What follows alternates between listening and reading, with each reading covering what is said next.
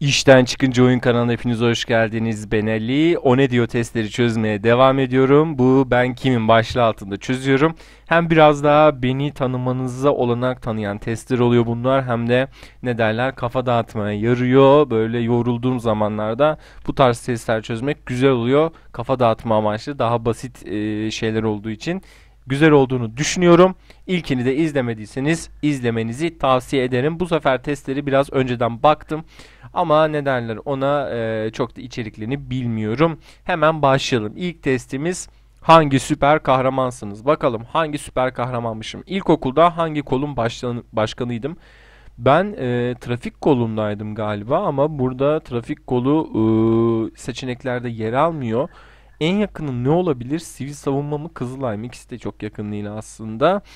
Ee, ortaokulda da sınıf başkanlığı yapmışlığım var. Ben sınıf başkanını seçiyorum o zaman. Sınıf başkanıyım.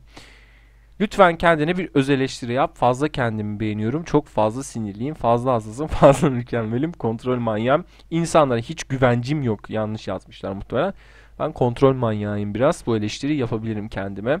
Klavyenin başındayken genelde nasıl gülersin arkadaşlar? Zaman ahahah diye mi gülerim? Şunu koyarım herhalde. Normal gülücük işareti.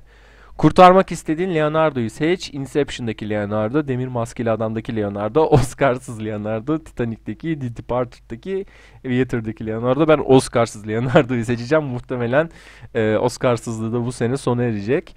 Patronun ya da hocan senin nasıl tanımlıyordur? İşle derste kafayı bozmuş. Hayır kesinlikle öyle değilim. Tek başına çalışmayı seven, hırslı, çok hırslı değilim, çalışkan, empati kurabilen olarak tanımladıklarını düşünüyorum. Bir pideci seç diyor e, kavurmalı, karışık, kaşarlı, kapalı, kıymalı, kuşbaşılı pideyi seçerdim arkadaşlar. Aslında kuşbaşı kaşarlı olsaydı da süper kahramanla pide arasında nasıl bir bağlantı kurulacaklar acaba? Sıklıkla söylediğin yalan hangisidir? Hastayım 5 dakika öğrenim. Ben seni dinliyorum. Yok ya bunu söylerim herhalde. 5 dakikaya oradayım. Bazen geç kaldığımda bunu çok sıklıkla söylerim. Hangi lider yaptıklarıyla sana ilham vermiştir? Gandhi, Mandela, Che Guevara, Napolyon, Dalai Lama, Abraham Lincoln. Yani herhalde buradaki liderlerin hepsi çok önemli ama ee, Mandela'yı seçeceğim. Mandela hani ne derler ona? E, dünyadaki evrensel bir problem olan e, ırkçılığa, siyah beyaz eşitliğine getirdiği çözümlerden dolayı e, Mandela'yı getireceğim. Bu listede herhalde Napolyon dışındakiler e, daha olumlu katkılar sağlamışlardır kendi ülkelerine ama Napolyon biraz daha farklı tabii onun yeri. Çok da bilmiyorum Napolyon'un e, durumunu. Mandela'yı seçeceğim ama getirdiği e, ırkçılık karşıtı işte siyah beyaz e, dengesi mi derler siyahları da hak tanınması konusunda Afrika'da Güney Afrika'da aşağıdaki muhteşem insanlardan hangisi sana göre daha kahraman ee, bakalım. Şurada bir insanı kurtarıyor. Şurada ne yapılıyor? Orada da ara arabayı kurtarıyor. Şurada soygunculara mı engel oluyor? Oo bu enteresanmış. Ya ben şunu seçeceğim bu köpeği kurtardı. Burada Batman çıktık. Ee, niye köpeği kurtardığını seçeceğim. Hepsi çok önemli ama şu beni çok etkilemişti şu videodaki çabası e, asansöre sıkışan köpek Batman çıkmışız. Siz başkaları gibi ne yazık ki şanslı değilsiniz. Sizin öyle doğaüstü güçleriniz yok. Ne yaptıysanız ne başardıysanız tırnaklarınızla kazıya kazıya yaptınız. Mükemmelliyetçisiniz ayrıca. Daha doğrusu mükemmeliyetçi ve ayrıntıcı olmak zorundasınız. Yoksa bu dünya Gotham City'de olabilir. Batar gider bu sizin alameti farikanız. Güzel Batman'i de çok severim. Sevdiğim bir süper kahramandır ama tabii ki Batman olabilmek için ultra milyoner milyarder olmak gerekiyor.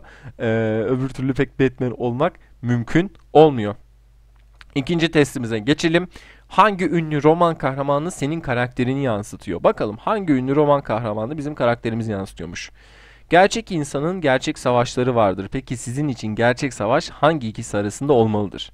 Gerçek, hayal, sadakat, ihanet, iyi ile kötü, namus ile cinsellik, mantıklı ile saçma, yasal ile suç, emek ile sermaye, çalışkanlık ile tembellik, aşk ile nefret. Ee, bence gerçek savaş iyi ile kötü arasındadır. Her türlü yani bu inancınız ne olursa olsun yani ister inancınız olsun ister olmasın veya siyasi görüşünüz ne olursa olsun bir mutlak do- kendi doğrularınız vardır, bir kendi yanlışlarınız vardır. Size göre doğru, size göre yanlış. Ee, kendi içimizdeki iyilerle kötüler arasında da bir çatışma yaparız. Ee, dünya genelinde de e, ne derler ahlak kuralları, etik kurallar, hukuk kuralları bir sürü kural vardır. Bunlardan hangisine inanıyorsanız inanın e, bir iyi ve kötü algınız vardır ve bunun arasında bir savaş olur. Niye bu kadar felsefe yaptım bilmiyorum. Şu romanlar olmasa sinemanın hali ne olurdu? Peki sizin karakterinizin bulunduğu roman sinemaya uyarlansa hangi ünlü yabancı oyuncunun sizi oynamasını isterdiniz? Yani Daniel Radcliffe'i niye buraya koymuşlar bilmiyorum. Ee, Gary Oldman'ı çok severim bu listede olabilecek ama tabii ki Jack Nicholson'ı tercih ederdim oynamasına. Bir tane nesne seçin. Bunlar niye bu kadar şiddet içerikli nesneler? Ee, şu T cetveli mi oluyor? Ben şuradan mont seçeyim arkadaşlar. En e, ne derler zararsız o görünüyor. Yolda gaspa uğrayan birini görseniz ne yaparım? Soyulan varlıklı birine benziyorsa karışmam. Hırsıza cebimdeki tüm parayı verip gitmesini isterim. Hemen yardımına koşan hırsıza girişirim. Çığlık atar etraftan yardım isterim. O kadar dalgınım ki fark etmem bile.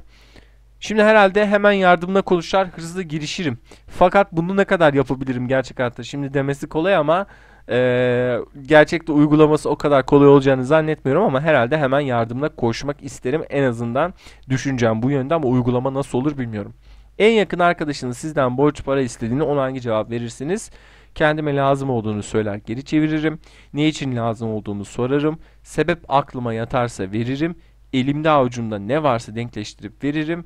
Bende para yok ki e, herhalde ee, elimde avucumda en iyi arkadaşımsa eğer en yakın arkadaşımsa ne ne kadar lazımsa yani veririm. Ne için lazım olduğunu sormam. Ama başka biri olsa belki ne için lazım olduğunu sorardım. Aşağıdaki hangi hayvan sizin karakterinize daha yakın? Tembel hayvan, koala, Yusufçuk, güvercin, karınca, kuzu, tavşan, baykuş, at, tembel hayvan. Ben tembel bir insanım çünkü. Hangi tür romanlardan hoşlanırsınız? Aşk romanları, köy romanı, tarihi romanlar, postmodern romanlar, feminist romanlar, çocuk romanları, gerçekçi roman, modernist roman, cinayet romanları. Ee, Valla bunların hiçbirinden hoşlanmıyorum. En çok hoşlandıklarım arasında daha benim e, distopik romanlar, e, postmodern mi seçmek gerekiyor bilmiyorum. Postmoderni seçelim. Pazarlık bir Türk biz Türklerin atasporudur. Peki sizin pazarınız pazarlığınızın vazgeçilmez cümlesi nedir? Hiç yapamam pazarlık. Yap bir güzellik ayağımız alışsın. Memleket nere? Pazarlık yapmam parası neyse veririm. Öğrenciyiz abi. Bizden de kazanmayı ver. Son param bu olur dersen. o çok dedin ya.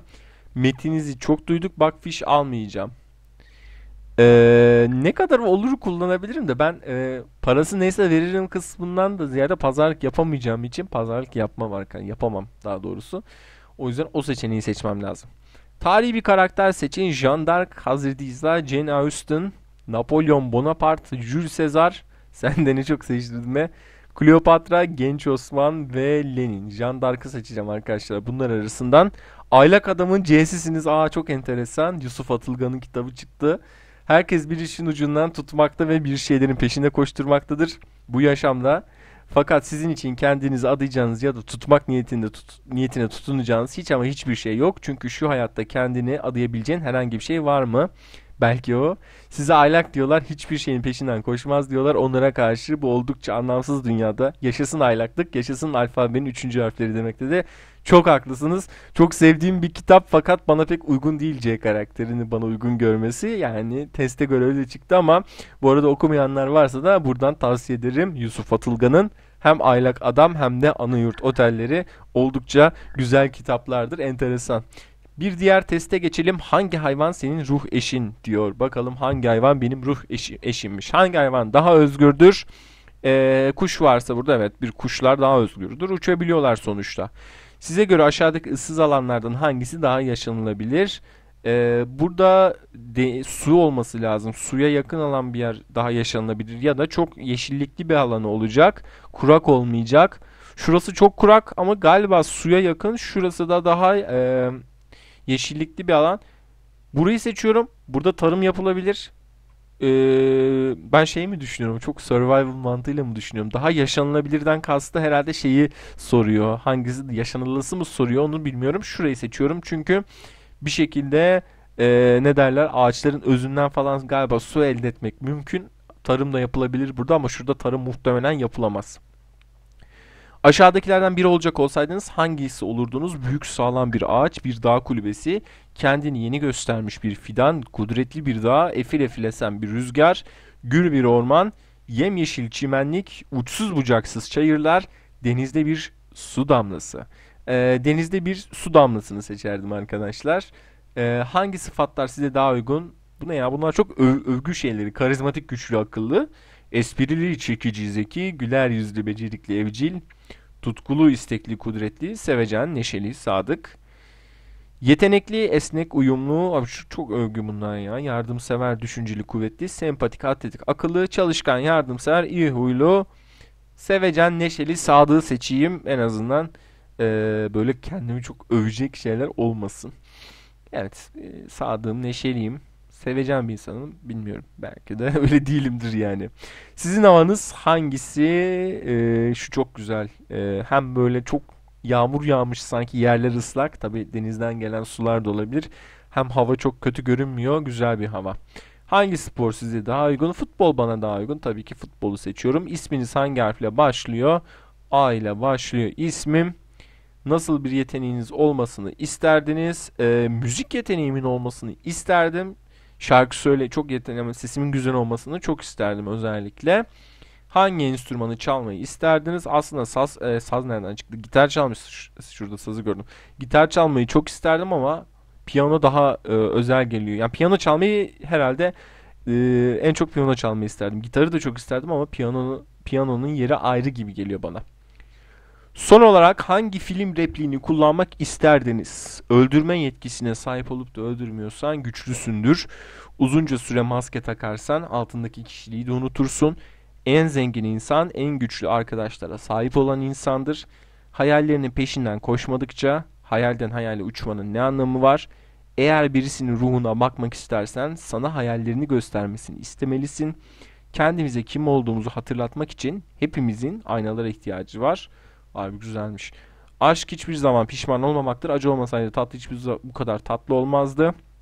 Güven elimizde kanıt olmayan şeye karşı duyulan inançtır. Ben şu kendimizin kim olduğumuzu hatırlatmak için aynalara ihtiyacımız var diyeyim. İçimizde bir köpek yatıyormuş. Sizin ruhunuzda bir köpek var. En kısa yoldan siz siz vaz- vazgeçilmez bir dostsunuz. Hadi bakalım. Her insanın hayat yolculuğunda mutlaka yanında olması gereken bir insansınız.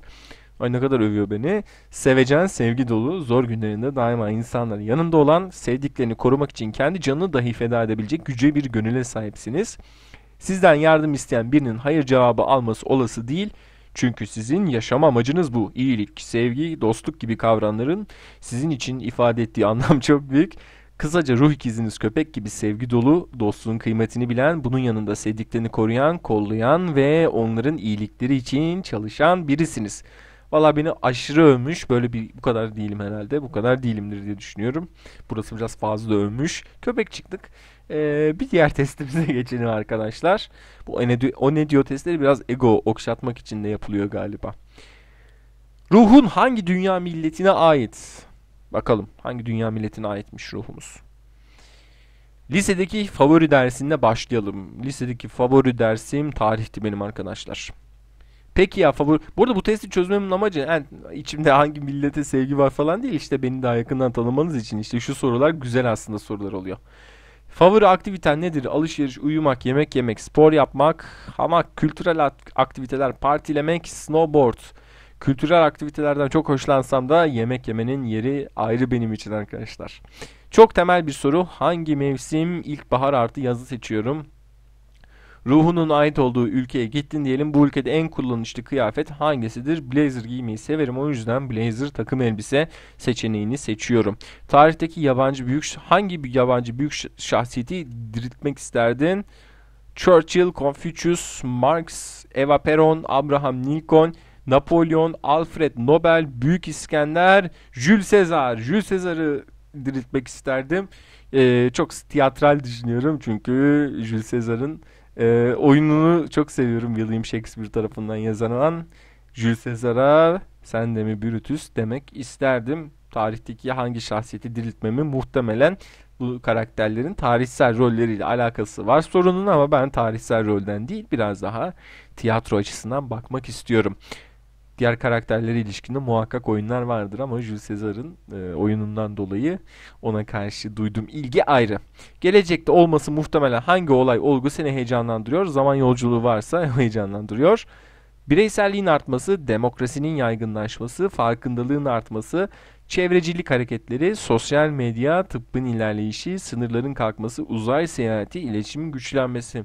Tıbbın ilerleyişi beni heyecanlandırıyor ama uzay seyahati daha çok heyecanlandırıyor.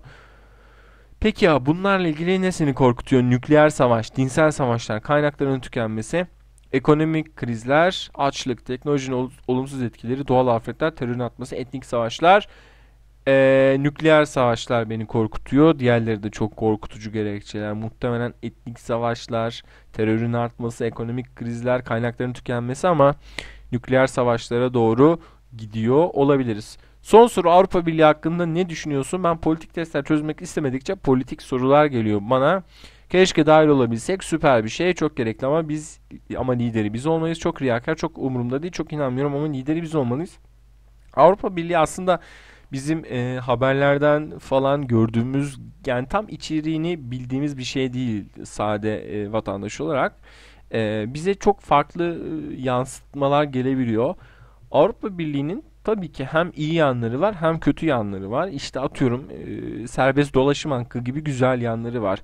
E, Avrupa Birliği'ne üye bir ülkede yaşıyorsanız başka bir Avrupa Birliği ülke, üye ülkesinde yaşayabiliyorsunuz, çalışabiliyorsunuz. Tabii olumsuz yanları da var.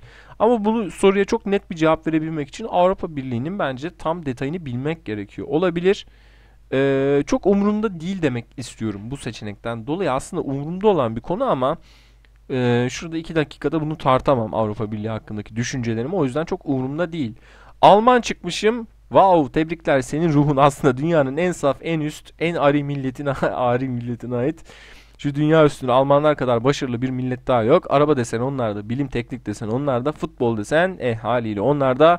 Mekaniksin, planlısın, programlısın, 5 yıllık programını yaparsın ve o asla şaşmaz yani. Başarılısın ayrıca ve bu başarının şans uzaktan alakası yok. Kısaca üstün Alman teknolojisin orada bir şey diyor ama bilmiyorum. Übermensch bu üstün insan falan anlamına geliyordu galiba. E yani çok da e, esprisi olan bir şey değilmiş Alman çıktım bu test e, sorular çok hoşuma gitmedi. Çok tanıma yönelik değilmiş. Evet. Arkadaşlar videoyu burada bitirelim. Yani bu testlerin amacı biraz kafa dağıtmak, vakit öldürmek, geyik yapmak diyelim ve biraz da sorulara verdiğim cevaplarla böyle sohbet edasında beni biraz daha iyi tanımanızı sağlamaya çalışmak. İzlediğiniz için teşekkür ediyorum. Umarım beğenmişsinizdir. Ee, izlemediyseniz Onedio testlerini çözdüğüm ilk videoyu da izlemenizi tavsiye ederim. Üstten alttan bir yerden muhtemelen onun bağlantı linki videonun başının ortasında veya şu an çıkmış olabilir. Ee, tekrardan izlediğiniz için teşekkürler. Kanala abone olmayı ve videoyu beğenmeyi lütfen unutmayın. Sonraki videolarda görüşmek üzere. Hoşçakalın.